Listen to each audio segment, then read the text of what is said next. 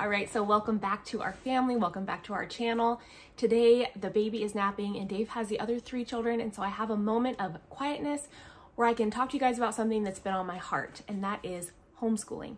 So it is the time of year where us homeschool moms, most of us, are looking and planning for next year's curriculum. We are excited to get those fresh books, to do new lesson plans, to get our planners, just all the things, okay? We have these curriculum booklets coming in the mail and they're like, you know, sales are coming up on homeschool curriculum and it's just, it's that time of year. So with all of that stuff showing up at my door, I know that I'm not alone in this and talking with my other homeschool mama friends, they're not alone in this. And so I know that this is a public thought. Like we are all thinking about this. If you're a homeschool mama, comment down below. Like, is it exciting for you? It's exciting for me.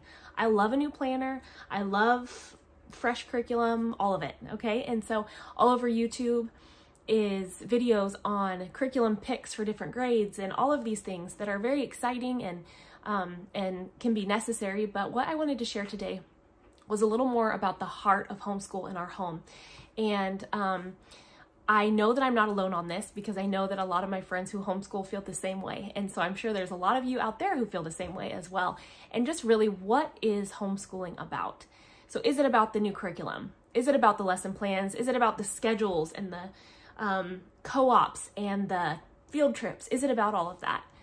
And for our family, it's not. So I grew up in a Christian home here in the Pacific Northwest and I went to public school until I was in fifth grade. And then in fifth grade, I went to a private Christian school through 12th. And then I went off to college afterwards and I got an associate's. So that is my educational background. Um, my husband's educational background is public school from the beginning to the end. He was pulled out one year, I believe fourth grade, for because um, he was behind in reading. I don't even think he could read at that point. And um, they were talking about putting him in like special education classes because he couldn't read. So his grandma pulled him out for about a year and taught him to read and he came back and he is totally fine. My husband is not specially educated. He's actually a has his bachelor's in nursing. He's extremely intelligent. Unfortunately, he was caught in a little bit of the loophole of the public school where we got to get all 30 kids through and so some kids fall through the cracks which is very common and so um, that kind of happened to my husband that's our that's our educational background we both grew up in christian homes but we truly came to the lord um, about four years ago and we have a long testimony story that i'd love to share in another video but when we did come to the Lord, we had a very strong conviction about homeschooling. Basically, we read Deuteronomy 6, and that was just all it took for us. We're like, okay, we are the ones in charge of training up and schooling our children, training them up in the way they should go. In Proverbs, it says, so when they're old, they will not depart from it. So in Deuteronomy 6, it talks about homeschooling children, basically. It talks about teaching them, raising them up and teaching them God's commands, teaching it when they're walking on the street, when they're sitting down, when they're lying down in bed. Basically teaching God's commands and teaching them diligently, which means persistently, like continually, like all the time teaching them to our children. It doesn't talk about um, sending them to a place where they can be taught God's commands. It talks about us doing it here and wherever we are with our children, but the command is for the parents. And so we took that personally as we take all the Bible, we take all the scriptures, the living, breathing word of God, and um, that is just how we live our lives. And so, as a Christian homeschool mom, I can't deny Deuteronomy 6, and that's what it teaches us. So, it teaches us to teach our children diligently, um, to observe God's commands, and uh, to walk with Him. And so, that's basically our mandate. So we're like, okay, let's do this. In Ecclesiastes 12, 13, it says, fear God and keep his commandments, for this is man's all. And if that's man's all is to fear God and keep his commandments, that is the priority. That is like the top of what we should be teaching our children in our Christian homes. So after reading those scriptures, I was just super convicted. My husband as well. We also watched an incredible um, YouTube video uh, from Voddie Baucham Voddie Baucham. I don't know how to say it. Anyways, about homeschooling your children, and it is just so good. And that that basically was the that was it for us. So as much as I love the new curriculums and all of that, my goal in our homeschool is to teach my children Jesus's commands, God's commands, and to fear him and to walk diligently with my children daily, day in and day out, sharing the gospel with them. And that is really the center of our homeschool. And so I see so many parents in these homeschool forums, um, like on Facebook, asking about the curriculums or panicking because they don't have a co-op near them and, and how are their children going to socialize and how are their children going to learn this or that this or that? Going take that fear to the lord and be like what does your word say about this? And so that's basically how how i navigate different homeschool fears and scenarios. Really remembering that the reason we're homeschooling as bible believing christian women in this day and age is because the lord calls us to do that and the reason why he calls us to do that is because it's very important to pull our children out of the world that is indoctrinating them into so many different things that we don't believe that go against the Bible and to pour in scripture to our children and pour in the fear of the Lord and diligently teach them what the Lord has brought us out of. It talks about in Deuteronomy 6, the Lord was uh, had brought the Israelites out of Egypt and the Lord says to remind them that they were brought out of Egypt and Egypt speaks of the world. So remind the children that they were brought out of the world. We are set apart. Um, we are living sacrifices for the Lord. If you truly believe the Bible and you're a Bible believing Christian and you want to be obedient to what the Bible has to say, that's our first go to. And so that's that's like my little speech on homeschool that I want to just encourage you in and remind you of when you're picking out curriculum and you're thinking about co-ops, you're thinking about this or that, like what is the reality of raising our children? What does the Lord want me to do? He'll guide us in picking the right curriculum for our children. He'll guide us through special needs that our children have. He'll guide us into areas where we can have socialization or pull them out and bring them home. I know that's one of the biggest concerns for homeschool moms is socialization. And um, the Lord will provide areas for you to socialize. He will provide your children everything they need. Your job is to take them to the Word of God, be an example of the Lord in your home, and walk with Jesus every single day. Every single day, no matter what throughout all the lessons. That's our job, really, as homeschool parents. I'm gonna talk a little bit about homeschool style now. So there's so many different styles. There's classical, there's Charlotte Mason, there's um, unschooling, there's eclectic, there's um, more. I can't even think of them right now. And so I'm just going to share a little bit about our homeschooling because I know I'm going to get questions um, about after this video goes out about curriculum that we use and all of that kind of stuff. And so my style of homeschooling is eclectic unschooling. That is 100% me. I piece together different curriculums, um, but I also have the mindset of the books are not the priority. The hearts of my children are the priority. And again, that mandate in Deuteronomy 6, talking about teaching our children to obey the Lord. That is the number one curriculum that I'm going to use in our home. And so that would be the Bible. And um, you don't necessarily need a fancy curriculum to go over the Bible. You can just read the Bible with your family, and the Lord will share with you exactly what you need from it. And so, um, so being an eclectic, unschooling type mom, um, basically, I use different curriculums, I pull in different things for different subjects, or I will just unschool, which means I basically just let my kids learn. And so if they have an interest in something, we will dive all in. So last year, my son, my oldest son, had an interest in ants, like hardcore. And so we bought all the things for ants and we literally raised ants in our living room.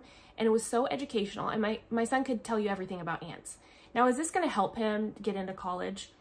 If that was a concern of ours, my children going to college, which again, that's not a concern of mine. If the Lord guides them to go to college, he will, he will make a way. Um, but it did so much for our family. It was so awesome to study things together and to really just like let their curi curiosity bloom. It was amazing. And so different things, human body. I had a baby last year.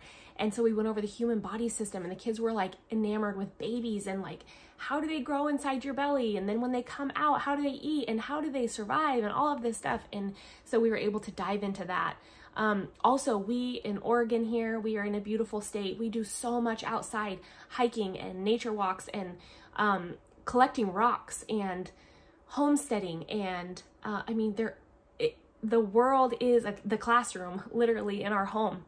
And so if I was to have like this curriculum I had to follow every single day, Monday through Friday, my children wouldn't get all the opportunities they get to get out and about. Uh, we go on road trips around the country almost every other year, which is so beneficial for my kids. They know so much about different states and different history about the states. And, um, and so that's more of my unschooled approach is just letting them do what they want to do. And so while I do like them to stick to like reading, writing, and arithmetic as our basis, um, we can learn whatever we want to learn outside of that. And even if there is struggles with writing or math or reading during the day, then we will just move on to something else. I'm just not like an intense stickler, like gotta be this, gotta be that. Like we read a ton of books, we do life together. Woody's gonna join us in the video. Do you wanna say something about homeschool? Do you like it when we're home all day? He's gonna lay down there? Okay. Anyways, um, okay, so the other thing I'm gonna share um, about school. So um, I'm 37 years old and I hang out with people who, most of the people that I hang out with are four to 10 years older than me. I actually have a couple friends who are like 10 years younger than me too. And those are the people that I do life with. I have a couple people in my life who are 37, 38 years old. The reality is most of the people I hang out with are not my age. My socialization comes from people who are not in my age range. And so putting our children in a classroom or if you're if they're not in a classroom and you're homeschooling but you're very concerned that they're not getting uh, socialization with peers their exact same age look at your friend group. Like is every single person your age? The people who have poured into you and and um, really given you advice in life who you just look up to are they your age or are they older or younger than you so the the idea of socialization when they get into the workforce they're to be working with all ages you're not just going to work with your same age and so that aspect of socialization that I think people just get duped into. Your, your kids do not need to hang out with kids their age. We hang out with kids who are older, we hang out with kids who are younger, and my kids hang out together and they're not the same age. And so um, there's just one thing I wanted to touch on. Um, it's just not important to have to hang out with the same exact age people. Like never in history have you just hung out with your age until the modern schools came in here that we're using, the government schools. Um, and then they grouped kids according to their age. Before that, that, that wasn't really a thing. Another thing that I'm going to touch on that I just totally don't agree with is state or standardized testing. And so I know a lot of moms around here in Oregon do state testing for their children. It's put on in public schools as well, and a lot of homeschool moms feel like they need to do it as well um, for their children or for themselves to figure out where their children are at. But there are tons of resources online where you can actually have your children take assessments that are not like tests. They're more just like assessments to see where your children are to place them in different grade levels or different homeschooling levels. So for some of my children, um, I have them, let's say, um, let's say my second grader. Um, she's in third grade math. She's in first grade science. And she's in second grade language arts. Let's just say that. Um, so I, I'm not going to expect her to be in second grade across the line. Does that make sense? Okay, so when they implemented standardized testing, that was basically for the schools to say, look, we're doing a good job. All of our kids are, are meeting this level, this criteria. And then they sent that information to the parents and the parents like, great, my kids are doing great in school. That's awesome. But in reality, you can't expect a classroom of children at the same age to know the same exact things. One, they're in different houses. They have different ethnicities they're coming from. They have different families, they have different beliefs, they have different ways of learning. Their brains are created, we're all created so incredibly intricate by the Lord. You can't expect everybody who's seven to know the exact same thing that all seven years seven year olds should know. And so we currently opt out of standardized testing. Some other families in Oregon, I know that they do it. Some moms like to know where their children are. I really don't think it's a benefit to the child. So take me, for instance, I'm 37. So let's gather 137 year olds in a room and give them the same exact test. Some of these 37 year olds are doctors, some of them are farmers, some of them are engineers, some of them work at the grocery store, some of them work at McDonald's, some of them are stay at home moms, some of them um, come from different countries. Let's put them all in a room and give them the same exact test and life skills and let's see if they can all do exactly the same thing and grade perfectly at this amount, this level, right? It doesn't make any sense. But again, this system was put in order to help the schools share with the parents that they're doing a good job and they're getting their kids to these certain levels, when in reality, we're all at different levels at different ages. My husband and I are around the same age, and he is so intelligent in certain areas that I am so unintelligent in, and vice versa. Okay, so if I was to say, You come home, you do my job, and I will go to work and I will do your job, we would both fail because that's impossible because I'm trained to do this, he's trained to do that. Okay, so to wrap this up, um, some of the questions we get asked, right, as homeschool moms. How do you do testing for your children? How do you know they're at the level they should be? Well, I shared that information. Number two, socialization. How do your kids get out with the same age group and do this and do that? We don't, okay? And that's not a priority to us, and it's never been a priority in all of history, okay? Number three, what is the perfect curriculum? Okay, the answer to that there is no perfect curriculum. I'm an eclectic unschooling homeschooler, so I piece together different curriculums at different times for different children. But there is no curriculum that's going to meet every single child's needs. They need parents pouring the word of God into them. That is the, the basis of our homeschool. That should be the most important curriculum that we use in our homeschool as Christian homeschooling parents. Okay, this isn't going for other. It says the fear of the Lord is the beginning of knowledge. So teaching our children the fear of the Lord, to be in awe of the Lord and what he's doing. In Deuteronomy 6, it says to teach your children, basically morning, noon, and night, all the time. You are responsible for teaching your children. If you're taking your children to church on Sunday and they're going to a children's classroom, and then you come home and you just do life as normal, that is not going to teach our children what they need to know when it comes to loving the Lord. They need their parents to be teaching that to them persistently, diligently, continually at home. And in the end, to just fear God and keep his command. It says, For this is man's all. That is our all. That is our all. When you think about that, um, and you put that into perspective of life, like what do I need to know? What do my children need to know? They need to know to fear God and keep his commands.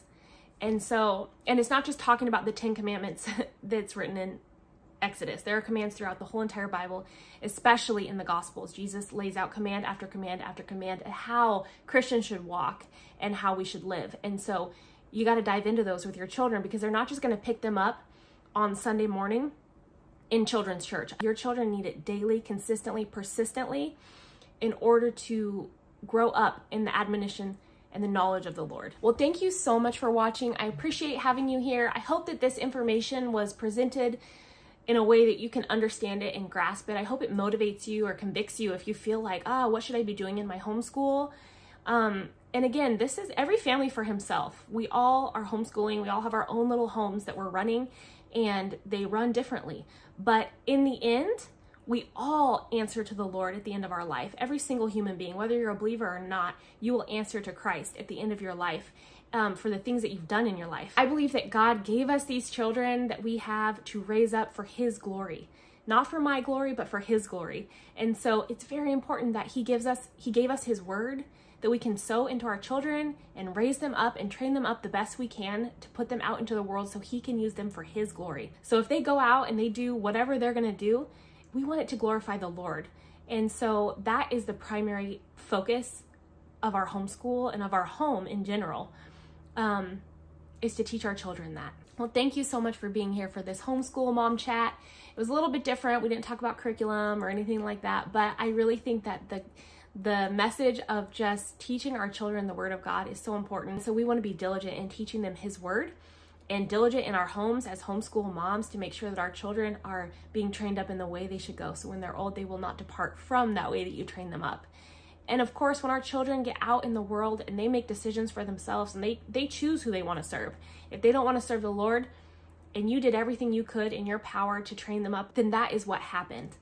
But we can do everything we can while we have them in our home to train them up and show them Jesus' love and his commands. Let me know down below if you would like to know homeschool recommendations for curriculum or day in the life homeschool for us. So if you want to see like a little insight about that, um, I'd love to share because I do love encouraging homeschool moms to fight the good fight at home and to teach them to remember that we are raising up children for the glory of God. And it's such a blessing to be able to do it. All right, you guys, make sure to like this video and subscribe, share with your homeschool mama friends, and we will see you on the next one.